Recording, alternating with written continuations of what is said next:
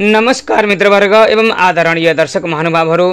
स्वागत छ तपाईँहरू सम्पूर्णलाई तारानाथ भण्डारी युट्युब च्यानलमा। र आज पनि एउटा विशेष यस्तो महत्त्वपूर्ण भिडियो लिएर प्रस्तुत भइसकेको छु जुन सातो फुक्ने मन्त्रको बारेमा आज म तपाईँलाई पूर्ण जानकारी गराउनेछु।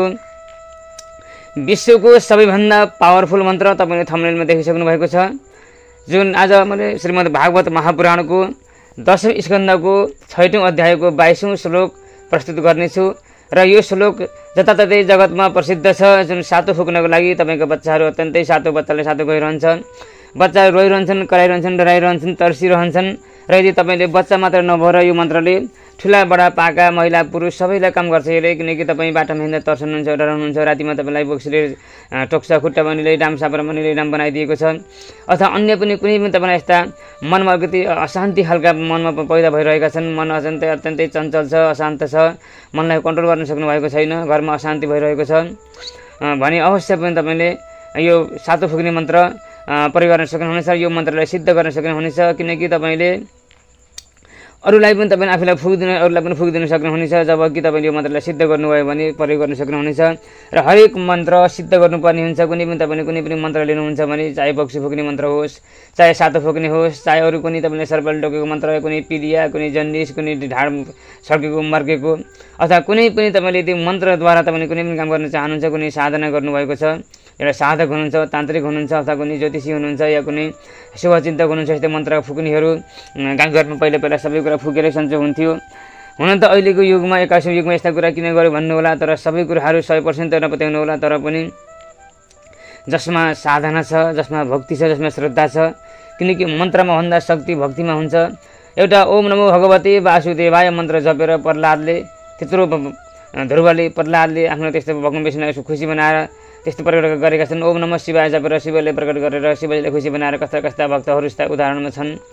किनकि हामीले सुन्दा देउता सामान्य मन्त्र जस्तो मानिन्छ र मन्त्रको अर्थ सबैलाई थाहा पनि हुँदैन। कतिपय संस्कृतका एकदम गुढ रहस्यमय मन्त्रहरू छन् र कतिपय बीज मन्त्र हुन्छन्। यो त श्रीमद् भागवत महापुराणको मन्त्र हो। अत्यन्तै दिव्य पावरफुल र शक्तिशाली मन्त्र छ। यस्तो दुर्लभ मन्त्र म तपाईँलाई सुनाउनेछु। जुन महर्षि वेद व्यासद्वारा रचित प्रणीत भगवान् गणेशले लेखेको विष्णु व्यासले भनेको श्रीमद् भागवत महापुराण अठार श्लोक अठार हजार श्लोकको यस्तो महापुराणबाट निकालिएको यो मन्त्र अत्यन्तै दुर्लभ छ र अत्यन्तै सिद्ध मन्त्र छ। अवश्य पनि हजुरहरूलाई यो मन्त्रको खाँचो परेको छ।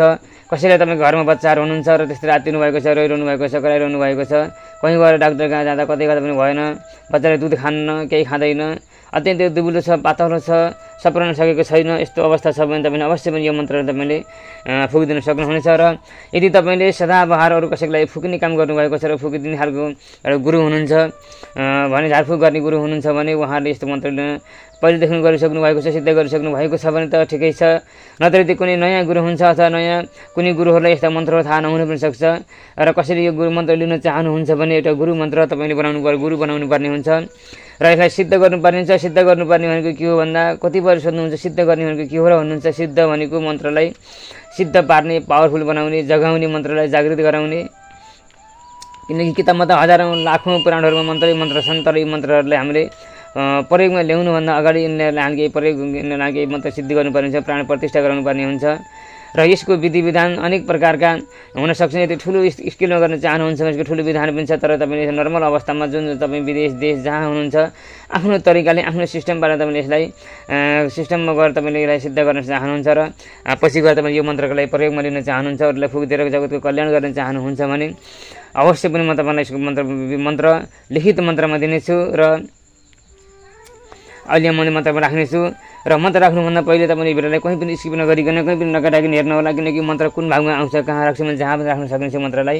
कतै पनि नकटाइकन मन्त्रलाई हेर्नु होला। र यो मन्त्र तपाईँले सारेर स्क्रिनसट हानेर पनि तपाईँले अन्त तपाईँले सिद्ध गर्न सक्नुहुनेछ र सिद्ध गर्नु भनेको तपाईँले कुनै पनि होलीको दिन सूर्यग्रहण चन्द्रग्रहण रामनवमी कुनै अक्षय तृतीया या कुनै विशेष त्यस्तो महत्त्वपूर्ण चाड चाडबाड कुनै यस्तो बनाएर तपाईँले कुनै अर्थ सर्वार्थ सिद्धि योग पुष्य योग यस्तै कुनै पनि विशेष दिनका दिनमा परशुराम जयन्ती राम जयन्ती यस्ता कुनै कुनै भगवान्को कुनै पनि भगवान्को यस्ता जयन्ती कल्की जयन्ती यस्ता चिजहरूमा तपाईँले यसलाई सिद्ध गर्न सक्नुहुनेछ। सिद्ध गर्नु भनेको तपाईँले आफ्नो बिहान उठेर नुहाइदै गरेर जुन दिन तपाईँले मन्त्र गर्ने हुन त खास भन्ने खास वास्तवमा गुरुमुखी भएर मन्त्र लिनुपर्ने हुन्छ तपाईँले।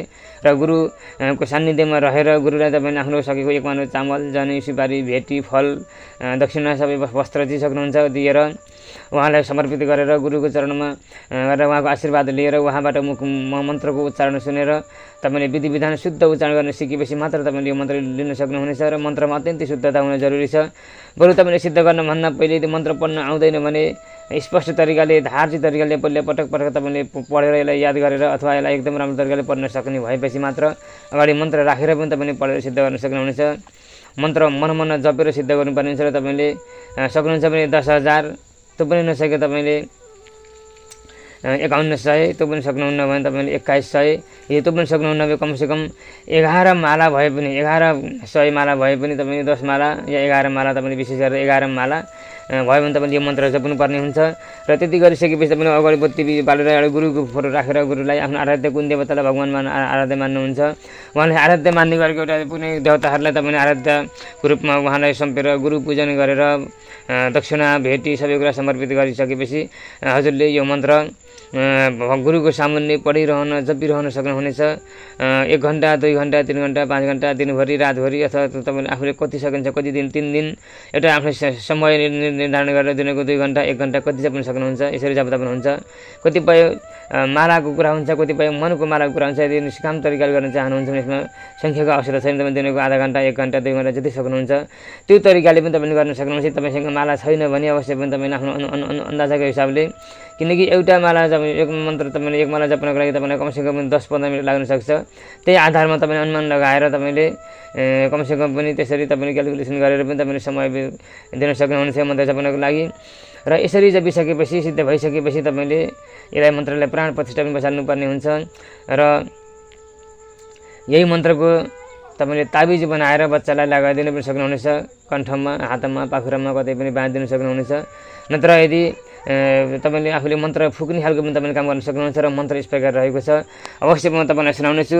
आज म तपाईँहरूलाई यो मन्त्र कमसेकम पनि तिन या पाँच पटक मैले सुनाउनेछु। अवश्य पनि ध्यान दिएर सुन्नु होला उच्चारण गर्ने तरिका। यहाँ मैले तपाईँलाई राम्रोसँगले धारले बताउनेछु र याद गरिसकेपछि तपाईँले छिटो छिटो तरिका स्पिड तरिकाले तपाईँले फुक्न सक्नुहुनेछ। मन्त्र यस प्रकार रहेको छ। म पुनः एक चल हजुरलाई म जानकारी गराउन चाहे यो मन्त्र कहाँबाट लिएको भन्नुहोला यसको प्रमाणसहित मैले ल्याएको छु। श्रीमद् भागवत महापुराणको दशम स्कन्दको छैटौँ अध्यायको बाइसौँ श्लोक हो यो र मन्त्र यस प्रकार छ। सातो फुक्ने मन्त्र।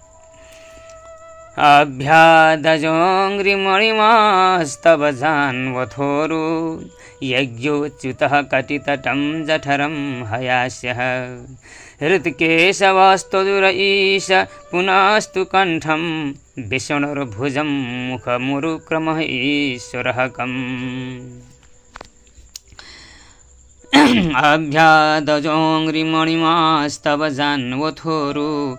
यज्ञोच्युतः कटितटं जठरं हयास्यः हृत्केशवस्त्वदुर ईश इनस्तु कण्ठं विष्णुर्भुजं मुरु मुखमुरुक्रम ईश्वरः कम् विष्णुर्भुजं मुखमुरुक्रम ईश्वरः कम् अभ्यादजोङ्घ्रिमणिमास्तव जान्वथोरु यज्ञोच्युतः कटितटं जठरं हयास्यः हृत्केशवस्त्वदुर ईश इनास्तु कण्ठं विष्णुर्भुजं मुखमुरुक्रम ईश्वरः कम्।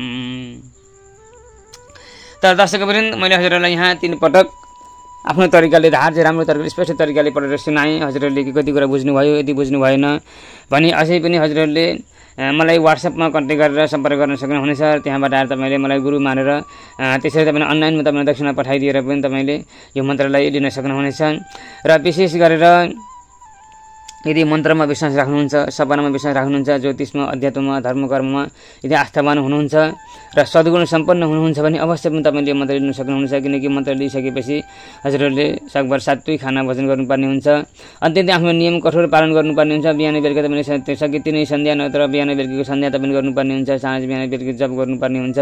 अनेक साधनाहरू गर्नुपर्ने हुन्छ।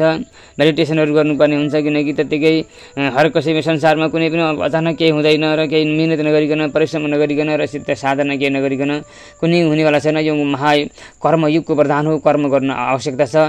बसी बसी मन्त्रले मात्रै पनि सबै काम गर्दैन एउटा विश्वास आस्था जगाएर तपाईँले मन्त्रलाई पनि लगाएर डाक्टरको पनि खेल गरेर यताउता तपाईँ तपाईँ तपाईँ तन्त्र मन्त्र यन्त्र सबै कुराको आवश्यकता पर्छ किनकि यो कलिग हो कलिगमा त्यति सजिलै मन्त्रले पनि काम गर्दैन कलिगको प्रभावमा छौँ हामी।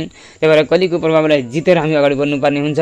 र यदि असम्भव पनि छैन तपाईँले सम्भव भएर गरेर देखाउन सक्नुहुनेछ मन्त्रले काम गरिसकेको छ ठाउँ ठाउँमा धेरैलाई मैले म सञ्चय गराइसकेको छु।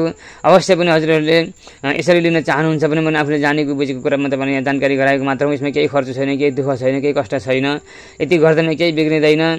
कतिपय डाक्टरमा धाउँदा पनि नभएकालाई मात्र तपाईँले यस्तो तर्कल गर्न सक्नुहुन्छ। नत्र त पहिलो पहिलो स्टेपमा अहिले कलिगुमा डाक्टर नै नै जानुपर्ने देखाउनु पर्ने हुन्छ। यदि उहाँबाट पनि तपाईँलाई भएन भने लास्ट विकल्प तपाईँले पनि गर्न सक्नुहुन्छ। किनकि केही गर्दैन विचार गर्दैन केही बिग्रँदैन।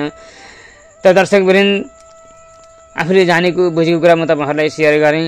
के कस्तो मान्नुभयो भिडियो? अवश्य पनि भिडियो मन परेको छ भने लाइक कमेन्ट सेयर गरेर आफन्तहरूमा चाहिँ धेरैभन्दा धेरैसम्म यो भिडियो पुर्याइदिनु होला। किनकि यसले पनि केही न केही जगत कल्याण र तपाईँलाई पनि केही न केही तपाईँले पुण्य पाउनुहुनेछ। र यति वर्षसम्म यदि नयाँ दर्शक हुनुहुन्छ च्यानललाई सब्सक्राइब गर्नुभएको छैन भने अवश्य पनि च्यानललाई सब्सक्राइब गरिदिनु होला। आफ्नो अमूल्य सल्लाह र सुझावहरू दिन नबिर्सनु होला। किनकि कहाँ कहाँबाट हेर्दै हुनुहुन्छ त्यो कुराको पनि जानकारी गराइदिनु होला। र विशेष गरेर यस च्यानलबाट नित्य निरन्तर रूपमा ज्योतिष अध्यात्म साहित्य वास्तु हस्तरेखा अङ्क ज्योतिष सपना र सगुन जस्ता विभिन्न रहस्यमय पराविद्या सम्बन्धी अपराविद्या सम्बन्धी कुनै पनि यस्ता महत्त्वपूर्ण भिडियोहरू हेर्न देख्न सुन्न पाइरहनु भएकै छ र पाइरहनु हुने नै छ। अवश्य पनि आफ्नो अमूल्य सल्लाह सुझाव दिँदै हजुरहरूले वाट्सएपमा सम्पर्क गर्न सक्नुहुनेछ र वाट्सएप नम्बर मैले बिचमा तपाईँलाई यहाँ स्क्रिनमा राखिदिनेछु। र डिस्क्रिप्सनमा तपाईँले नम्बर पाउनुहुनेछ। जुन वाट्सएप नम्बर रहेको छ इमो अथवा वाट्सएप नम्बर अन्ठानब्बे सत्ताइस त्रिचालिस त्रिचालिस त्रिचालिस यो नम्बरमा हजुरहरूले सम्पर्क गर्न सक्नुहुनेछ। र आफ्नो जन्मकुण्डली नाट्य पनि देखाउन चाहनुहुन्छ। हजुरलाई एकदम बसी लागेर हैरान हुनुभएको छ। कुनै यस्ता लागेका छन् केही जादु टुनाङ कसरी केही गरिदिएको बेगर पारिदिएको जस्तो तपाईँलाई शङ्का छ। भने अवश्य पनि हजुरहरूले सम्पर्क गरेर समय मिलाएर यदि डाइरेक्ट फोन गर्नुभन्दा सकभर तपाईँ यदि वाट्सएपमा आउनुभयो भने अत्यन्तै सहज हुनेछ। किनकि आफ्नो समय मिलाएर गर्नु पाइन्छ वाट्सएपमा त्यसरी आएर पनि तपाईँहरूले सेवा लिन सक्नुहुनेछ र मैले फोनबाट पनि तपाईँलाई पुगिदिनेछु र यदि जन्मकुण्डली नाट्य पनि देखाउन चाहनुहुन्छ कुनै ज्योतिषीय परामर्श लिन चाहनुहुन्छ वास्तु सम्बन्धी परामर्श चाहनुहुन्छ या कुनै त्यस्ता अचम्मका सपनाहरू देख्नुभयो र सपनाको सम्बन्धी तपाईँलाई जानकारी छैन र कुनै त्यस्ता देख्नुभयो भने अवश्य पनि तपाईँले सपनाको बारेमा पनि जान्न सक्नुहुनेछ किनकि यस च्यानलबाट नित्य निरन्तर मैले ज्योतिष अध्यात्म साहित्य वास्तु हस्तरेखा अङ्क ज्योतिष सपना र सकुन जस्ता विभिन्न यस्ता महत्त्वपूर्ण भिडियोहरू राख्ने गरिरहेको छु। र भविष्यमा राखिरहनेछु हजुरहरूको हौसला सहयोग सपोर्टको आवश्यकता परिरहनेछ। एक सेकेन्ड तपाईँलाई पाँच सेकेन्ड लाग्दैन तपाईँलाई च्यानललाई सब्सक्राइब गरिदिन। तपाईँको केही पैसा खर्च पनि हुँदैन। तर त्यसैको तपाईँको एउटा सब्सक्राइब गर्दा हाम्रो च्यानल जीवन्त रहनेछ। च्यानललाई जीवन प्रदान हुनेछ। हवस् त यति भन्दै आजको बसाइबाट बिदा माग्न चाहेँ। बिदा दिनुहोस्। नमस्कार। जय नेपाल। जय पशुपतिनाथ।